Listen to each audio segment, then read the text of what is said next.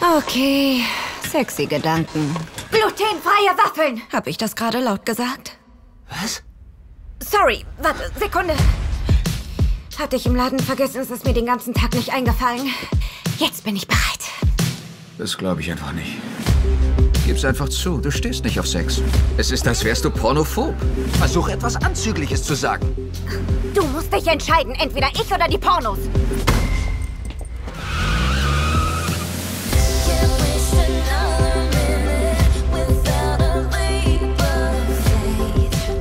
Ich will deinen harten und pulsierenden.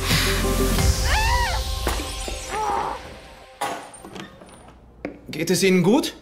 Wollte nur sehen, ob alles in Ordnung ist. Was? Was? Nein, nein, nein, nein, ich, äh, ich masturbe, medi, medi, meditiere. Hallo, Warte, warum siehst du so gut aus? hab jemanden kennengelernt. Also habe ich mir eine Sex-To-Do-Liste gemacht. Beste Trennung aller Zeiten. Oh Gott. Eine kurze Frage. Machen Sie Pilates oder so?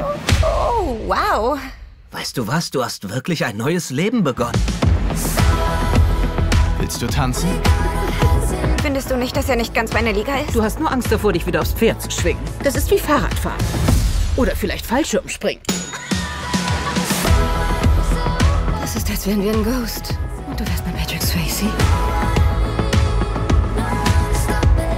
Erzähl mir alles, was ich über dich wissen muss. Sicher, dass du das wissen willst? Ja, du hast recht. Könnte das Ende von etwas Gutem sein, bevor es anfängt.